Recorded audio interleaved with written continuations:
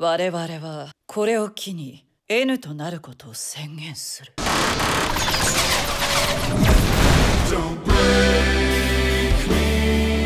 メリカが作った AI が暴走し不特定多数の人間の電脳に感染していった結果がポストヒューマンの誕生につながった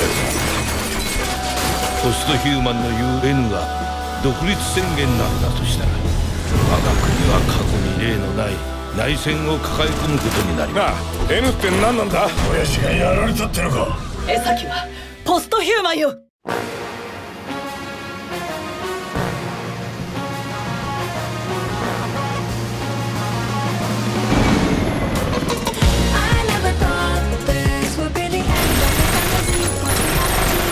島村核攻撃を行えばお前たちの持続可能性を失うぞ。ただしなぜ300万人を巻き込んだ？このままじゃ本当に世界戦争が始まっちまうぞ。君たちはポストヒューマンを何としても捉え核ミサイルの発射を阻止してくれ。戦争は平和であり自由は屈辱である。無知は力なり。これまでに提示していたルールを変更しサスティナブル王を拡大する